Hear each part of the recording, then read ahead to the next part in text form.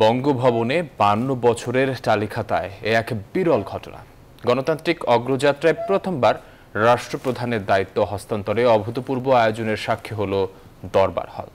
বাইশতম রাষ্ট্রপতি হিসেবে শপথ নিলেন মোহাম্মদ শাহাবুদ্দিন।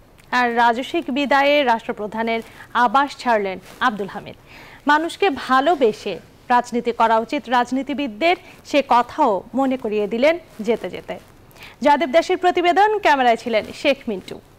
কেনাকাটায় একশো পার্সেন্ট পর্যন্ত ক্যাশব্যাক জিতে নিন বিএমডব্লিউ সহ হাজার হাজার পুরস্কার। বঙ্গভবন দরবার হলে চব্বিশে এপ্রিলে সকালটা দেখা দিয়েছিল এক ভিন্ন আঙ্গিকে। সকাল থেকে আমন্ত্রিত অতিথিরা হাজির হতে থাকেন দরবার হলে। সকাল সাড়ে দশটা নাগাদ আসেন প্রধানমন্ত্রী শেখ হাসিনা ও জাতীয় সংসদের স্পিকার ডক্টর শিরিন শারমিন চৌধুরী সহ তিন বাহিনীর প্রধান ও সামরিক বেসামরিক গুরুত্বপূর্ণ ব্যক্তিরা। ঘড়ির কাটা এগারোটা পার করার আগেই দরবার হলে প্রবেশ করেন রাষ্ট্রপতি মোহাম্মদ আব্দুল হামিদ ও নতুন রাষ্ট্রপতি মোহাম্মদ শাহাবুদ্দিন। অতিথিদের শুভেচ্ছা অভিনন্দনে সিক্ত দুই রাষ্ট্রপতি শপথ মঞ্চে পৌঁছালে মন্ত্রিপরিষদ সচিব মাহবুব হোসেন জাতীয় সংসদের স্পিকারকে আহ্বান জানান নতুন রাষ্ট্রপতিকে শপথ বাক্য পাঠ করাতে।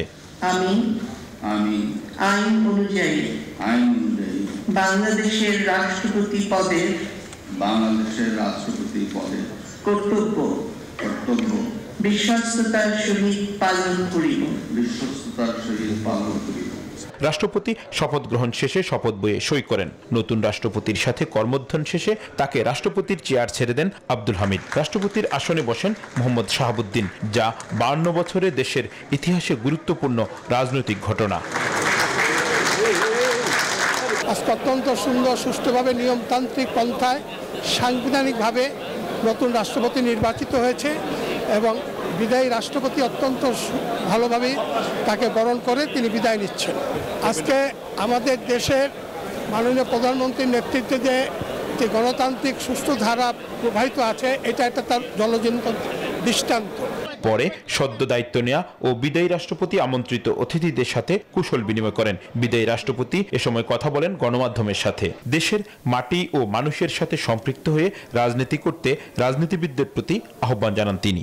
মানুষের বাইরে আমার কোনো চিন্তা ছিল না, কোনোদিন থাকবেও না এবং আমি সকল রাজনীতিবিদদের এই কথাই বলব, এই দেশের মাটি এবং মানুষকে ভালোবেসে যেন তার রাজনীতি তাহলে রাজনীতি আরও অনেক সুন্দর হবে।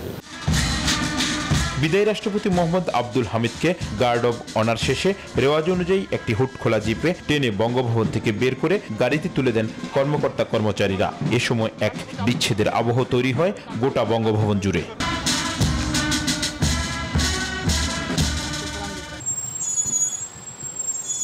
পরে রাষ্ট্রপতির প্রোটোকলে পূর্ণ নিরাপত্তায় আব্দুল হামিদকে পৌঁছে দেওয়া হয় তার নিকুঞ্জের ব্যক্তিগত বাসভবনে।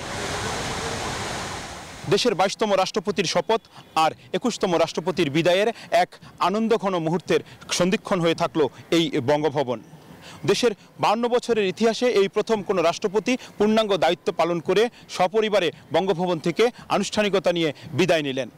তিনি আহ্বান রেখে গেলেন দেশের রাজনীতিবিদদের কাছে মানুষকে ভালোবেসে রাজনীতিকে সামনের দিকে এগিয়ে নিতে। Joydeb Das, news twenty four, Bangabhaban, Dhaka.